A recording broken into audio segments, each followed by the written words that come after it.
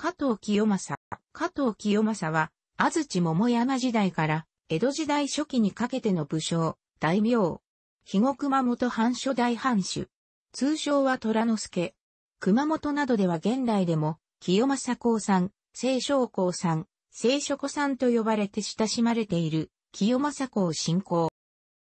豊臣秀吉の子飼いの家臣で、静ヶ岳の七本槍の一人。秀吉に従って各地を転戦して武功を挙げ、肥後北藩国の大名となる。秀吉没後は徳川家康に近づき、関ヶ原の戦いでは東軍に加担して活躍し、肥後国一国と文後国の一部を与えられて、熊本藩主になった。明治43年、1910年に十三味を追贈されている。永禄5年、1562年6月24日、刀鍛冶、加藤清忠の子として、尾張国愛知郡中村、現在の名古屋市中村区に生まれた。母は鍛冶屋、清兵衛の娘、伊藤。清正が3歳の時に、父が死去し、母と共に、津島に移る。橋場秀吉の生母である大万所と母がいとこ、あるいは東園の親戚であった縁から、天正元年、1573年、大見長浜城主となったばかりの秀吉に故障として、使え、天正4年、1576年に170国を与えられた。大見の守護大名佐々木氏の一族で、大見の名門である山崎変也の娘をめとり、正室とする。天正8年9月19日、1580年10月27日に、秀吉から張幕につかみ東軍内ちに120国を与える、地行当て外上、加藤文書が記録上の最初の登場である。天正10年、1582年4月14日、中国計略中の秀吉が冠山城を攻めた時、清正は城に一番乗りを果たして、武井証言というものを討ち取っている。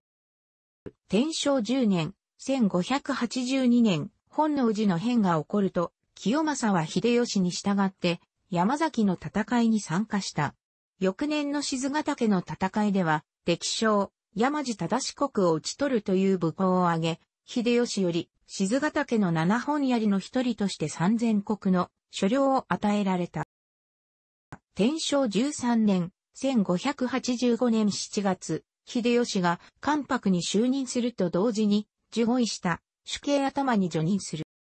天正14年、1586年からは、秀吉の九州平定に従い、肥後国領主となった笹成政が失勢により改易されると、これに代わって、肥後北藩国19万5千国を与えられ、熊本城に入り、後の天正19年、1591年頃より、これに改修を加えて、熊本城とした。清正は、静ヶ岳の戦い以降、小牧、長久手の戦い、四国征伐、九州平定に参加し、ほとんどが交尾として、秀吉の周囲を守るか、後方支援に当たるかしていた。例えば、小牧、長久手の戦いの時に作成されたとみられる、陣立て書が残されているが、そこに記された、加藤康介、清正の動員兵力はわずか150名であった。清正樹などの清正の伝記にはいくつもの武功に関する記載と秀吉からの感情の引用が記されているが、それらはすべて創作である。当時の清正が秀吉から期待されていたのは、豊臣政権の財務官僚としての役割であった。記録で確認できるだけでも、豊臣氏の播磨国や泉国にあった倉入地の大官、九州平定後の上司としての戦後処理、李東地戦が改易されて、結所地となった佐抜国に診療主に決まっていた、生駒近政が入国するまで大官として臨時に、統治業務にあたる仕事などが知られている。また、泉国の大官を務めたことで、堺の商人との関係を深めることになった。なお、清正が肥後藩国を与えられた理由としては、九州平定が終わった直後に、肥後黒人一揆が発生し、不安定な政治情勢が続いていた、肥後の情勢を鑑み、長年大官を務め、九州平定、肥後黒人一揆後に上司として派遣されて現地に通じている清正に、肥後藩国を託したと考えられている。肥後における知跡は良好で、タ麦を特産品化し南蛮貿易の決済に充てるなど、世に知られた治水以外に商業政策でも優れた手腕を発揮した。ただし、その一方で、違法直後に発生した朝鮮半島への出兵が、両国統治に暗い影を落とすことになる。天正17年、1589年、小西領の天草で一揆が起こると、小西行長の説得を無視して、出兵を強行、これを鎮圧している。文禄元年、1592年からの文禄、慶長の役では、朝鮮へ出兵した。出兵前年の天正19年、1591年、清正は、両国の家老2名に対して36過剰に及ぶ、出兵の準備に関する指示を出している。肥後一国を与えられる前は170人程度の軍勢を指揮するに過ぎなかった清正1万人単位の兵を率いる立場になってから初めての大規模な戦いであった。清正の家臣の中には新山の家臣が多く、実際の戦闘や留守の両国でどこまでの働きをするのか未知数であった。しかも、九州諸大名には非全国名古屋城の築城など、軍役以外の負担を課せられるなど、清正は重い課題を抱えたままの出陣となった。文禄の役では二番隊首相となり鍋島直重、相良頼房などを参加に置いた。同じく先方である小西行長率いる一番隊とは別路を取り、4月17日の不山上陸後は、行長と首都ハンスンの攻略を競い、5月3日、南大門からハンスンに入場した。ハンスン攻略後は一番隊や黒田長政の三番隊と共に北上し、臨進行の戦いで金命元等の朝鮮軍を破る。その後、公海道金交駅からは一番隊、三番隊とは分かれ、東北方向の環境道に向かい、海底層の戦いで、反活の朝鮮軍を破り、環境道を平定して、現地の朝鮮人によって、生け捕りにされていた朝鮮西、臨海軍、純和軍を捕虜にした。だが、清正の本意は、秀吉の意向が民本国への進撃である以上、朝鮮半島の平定に時間をかけるべきではないという考え方で、日本側が取った八道文献策には批判的であった。清正の危惧通り、民軍の援軍を得た朝鮮軍の反撃を受けた一番隊や支援に駆けつけた三番隊は苦戦をし、日本軍の進撃は停止してしまう。一方、明への進行路から外れた辺境で敵軍も少なかった二番隊は大きな抵抗を受けずに進行を続けたため、一番隊や三番隊の苦戦を知る日本本国では、清正が虚偽の戦果を報告しているのではなかと疑惑を持たれることになった。当然、清正はこうした流れに反発し、それが一番隊を率いていた、小西行長や本国と現地の取り次ぎをしていた、石田三成への不信の発端になったと見られている。対に、この時期前に清正と彼らの不仲を裏付ける一時資料は存在していない。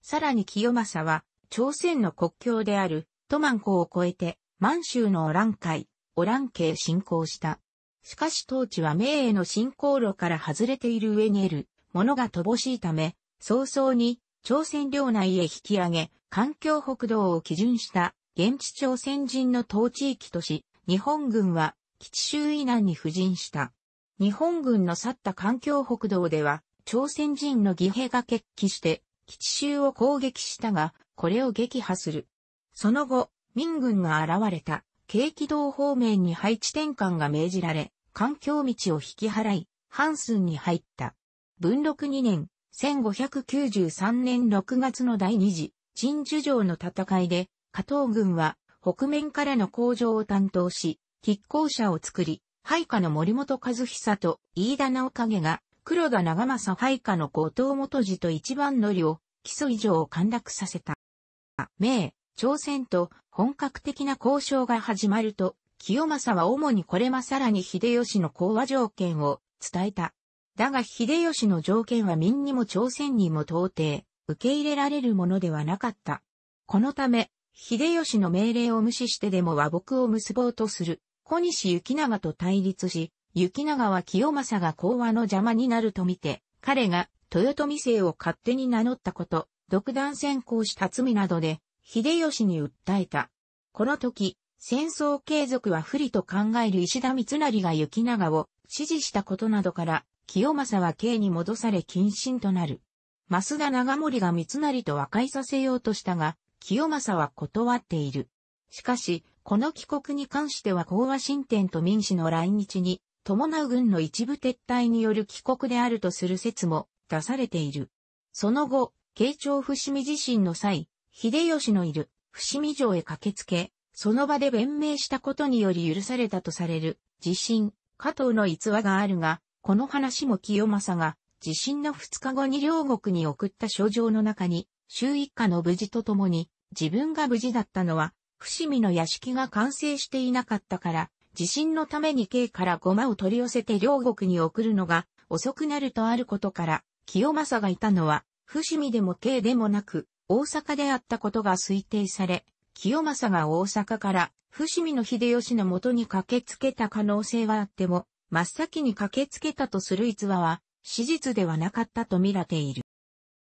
一方、名古屋城の築城以来、清正両国を含めた九州各地は、朝鮮での軍役やその軍勢を維持するための物資調達で多大の負担を強いられ、不穏な動きを見せ始めていた。文禄元年、1592年6月に、島津市の家臣である、梅北国県が清正の市場の一つ差式場を奪う梅北一揆が発生する。一揆は間もなく鎮圧されるが、妊婦としての動員や徴税、その他の物資挑発に由来する過大な負担は、家中や領民を動揺させた。文禄2年8月、不山郊外の西西浦和城にいた清正が冬に備えて留守を守る重臣に対して51か条に及ぶ物資調達を督促する書状をしている。ただ、この時の調達に国元は難重した模様で、翌文禄3年4月には早くも冬に備えた物資調達とともに重臣たちの怠慢を叱責する書状を送っている。徴税時や妊婦動員時には、あらかじめ百姓を人質を取ったり、逃亡した妊婦を出した村に対しては、日割りで、欠員期間の夫銭を徴収するなどの制裁措置を取ったりすることで、未信や逃亡の阻止を図った。そして、領内では一部の加藤家家臣を巻き込む形で、百姓の動員拒否や逃亡の動きが盛んになる。ついには、肥後本国の百姓が朝鮮に陣夫として連れて来られた百姓に対て、今なら集団で、日後に逃げ帰っても、大官たちが百姓改めをしないから、村に戻るなら今のうちだという内容の書状を送り、清正がそれを見つけてしまう事件まで発生したのである。文禄2年2月14日付で、秀吉が肥後に残った加藤家の重臣に対して、直接、朝鮮半島から逃げ帰った百姓の取り締まりを命じる主因状を発給しているのも、清正ら九州諸省の留守の両国における不穏な動きに対した措置と見られている。また、この時期の清正は、財政難の克服や軍需品の調達を意図して、ルゾンに貿易船を派遣して、日本では米に比べて廉価であった麦類を輸出して、生薬などの軍需品を輸入しようとしたが、皮肉にも朝鮮出兵によって、ルゾンの軍事的緊張が高まり、思うように成果が上がらなかった。慶長2年、1597年からの慶長の役では、左軍の先鋒となった小西行長に対し、友軍の先鋒となる。再び、朝鮮に渡海する際、行長は、明、朝鮮軍側に清正の上陸予想地点を密かに知らせ、清正を撃たせようとしている。しかし、敵の李春心はこれを罠だと判断して出撃せず、清正は攻撃を受けなかった。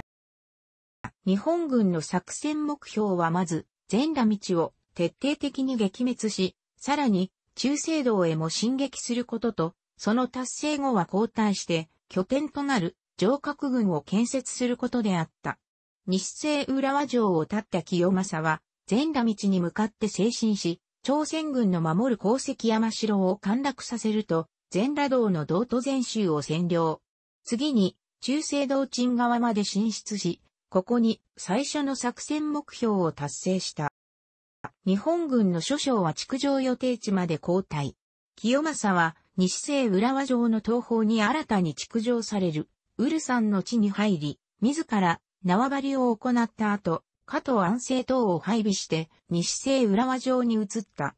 ウルサン大和城の建設は帰国予定の浅野義長と宍戸元次等の毛利勢、毛利氏は他に、梁山大和城の築城も担当が担当した。清正は西西浦和城に加えウルサン大和城の守備担当であった。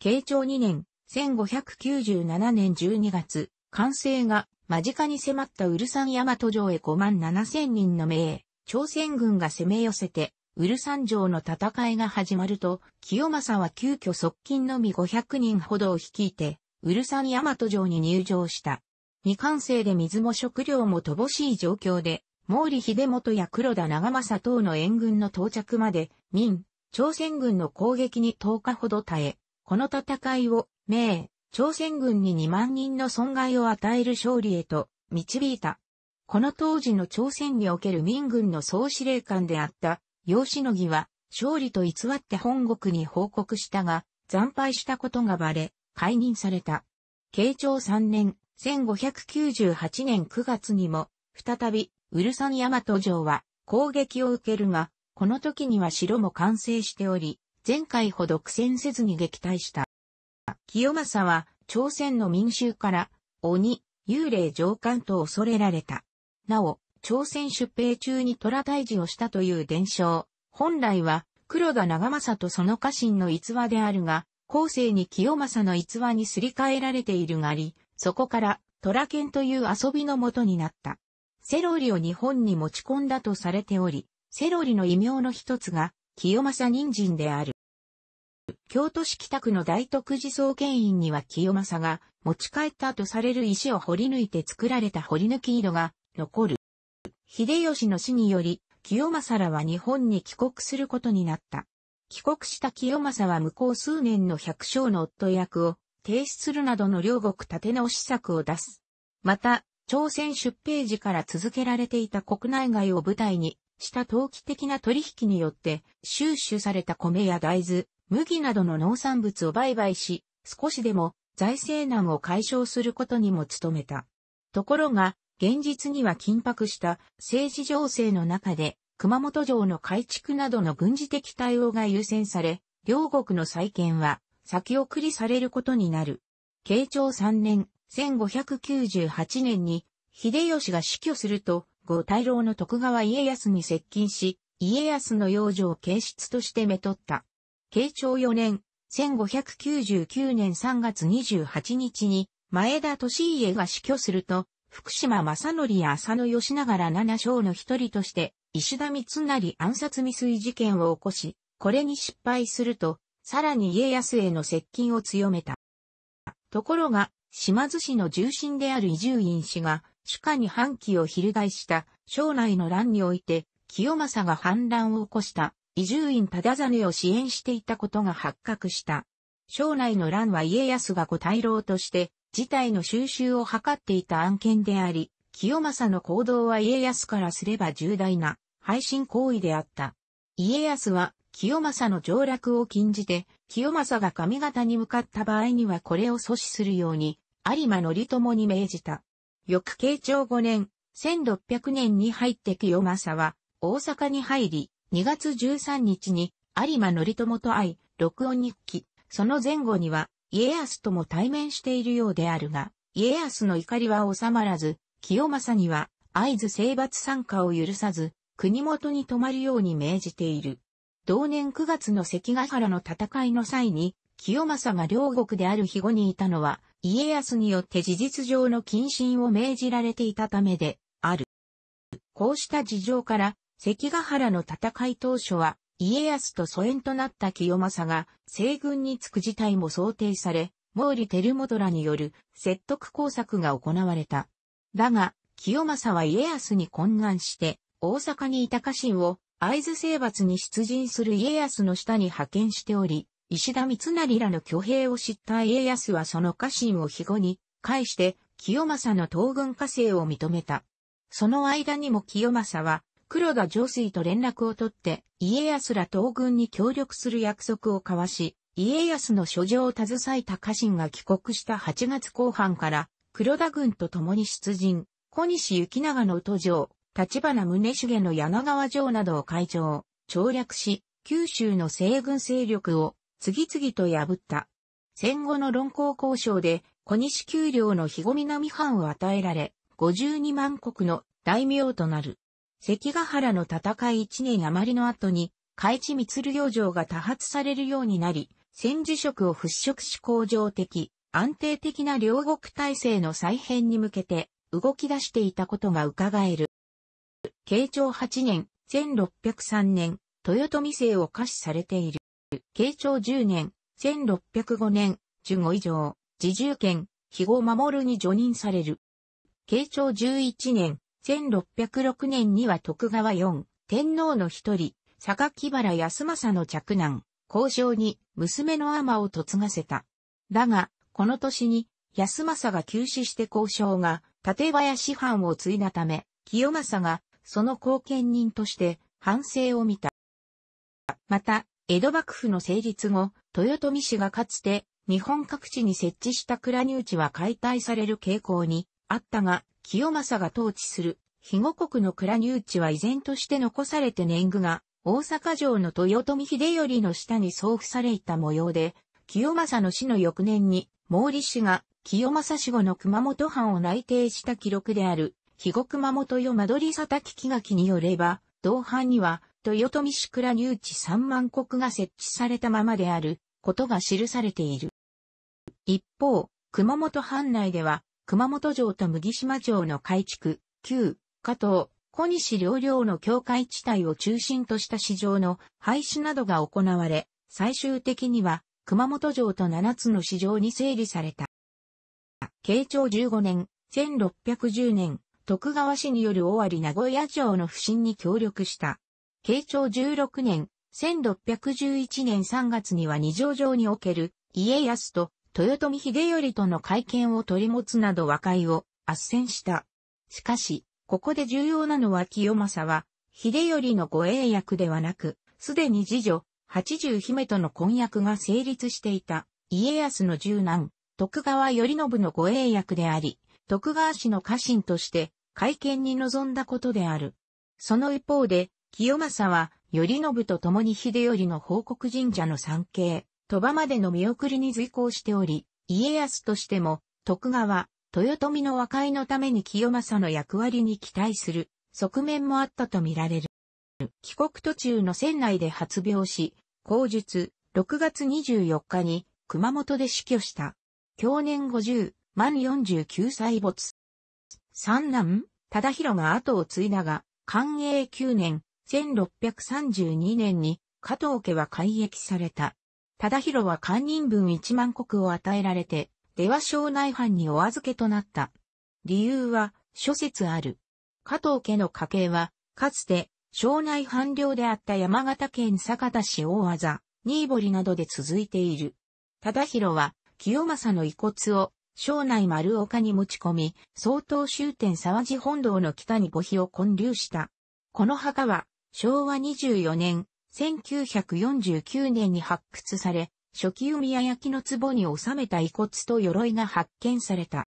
新たに、肥後熊本54万国の領主となった細川忠俊は、清正の霊位を先頭にかざして、肥後に入部し、熊本城に入る際、あなたの上地をお預かりしますと言って、清池廟の方角に向かって妖拝し、清正を敬う態度を示した。本名字は、細川市の菩提寺、大正寺、明海寺並みの寺領を寄進される。享保20年、1735年の125、延期の頃になると、毎月23日の清正命日大夜には、三景津やし、諸願成就を祈願する者が急増する。6月23日の消灯大夜には、大勢の参拝客を目当てに参道に仮設店舗や茶店が出る賑わいを見せ、現在のトン社会の原型が姿を現している。かつて、日常様、日常孤児と呼ばれていた清正は、この頃には、清正公、清正神義と尊称されるようになって神格化が進み、本名字、清七病は、聖書庫、清正公さんとして、民衆の清正信仰の中心的存在となった。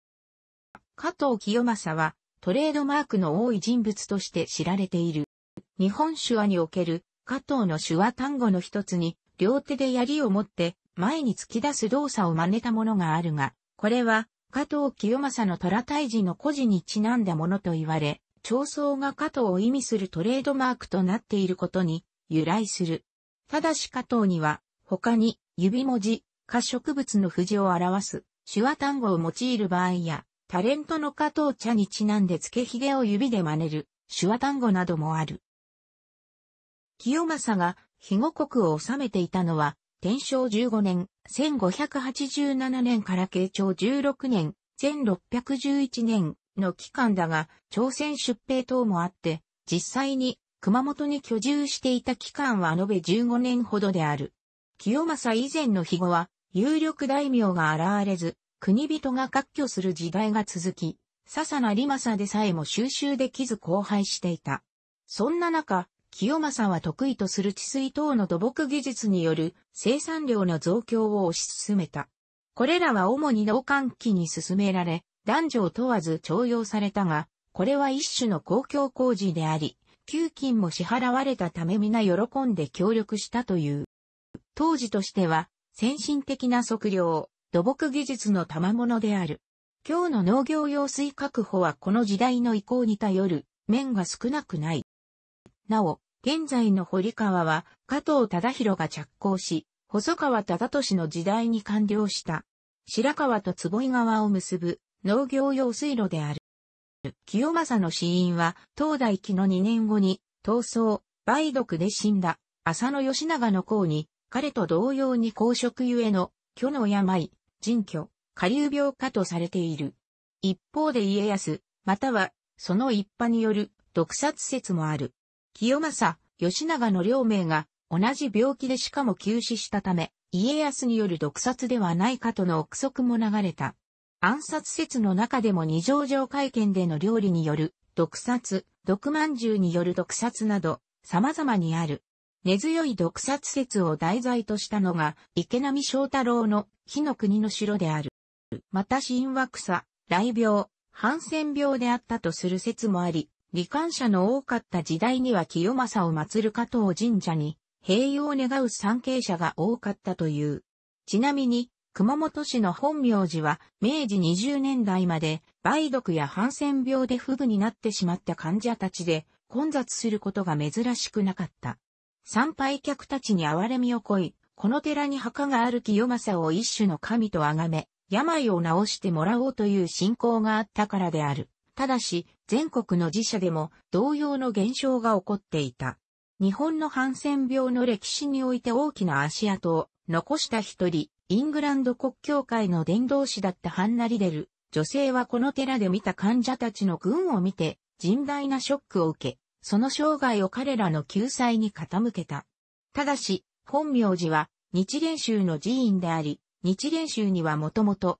雷病、ハンセン死病はホッケ業をそしった報いであるという考え方が存在し、ホッケ業信仰とハンセン病平癒、そして熱心な日蓮宗信者とされる加藤清正が結びついたことに由来するという考えもあり、清正の死因とは結びつかないという説もある。清正は熊本に帰る途中に発病し口が聞けなくなり、健康は回復しなかった。遺言はなかった。赤尾口でダビに付され、そこには後に色が建てられ、成形庵と名付けられた九州森林管理局内に石踏みがある。本葬は10月13日、着手虎富士、忠広公の帰国後に、日蓮宗京都本山本国寺漢樹である悲観の引導により厳守された。清正公の遺骸は、甲冑の武装のまま石棺に、酒詰めにされ、現在の病所内の清正構造の真下にあたるところに埋葬された。墓所は、熊本市西区花園の初星山本名寺の清池廟、また、山形県鶴岡市丸岡の金峰山店、沢寺。さらに、東京都港区白金台の再生三角林寺、清正港に位牌がある。なお、東京都大田区の長栄山大国院本門寺、池上本門寺に、供養塔。宝西神社は、熊本市本丸神社の加藤神社。また加藤清正に準じた、大木天皇、朝鮮人の金学、金冠、朝鮮名、両保官も、熊本城にある、加藤神社に祀られている。楽しくご覧になりましたら、購読と良いです。クリックしてください。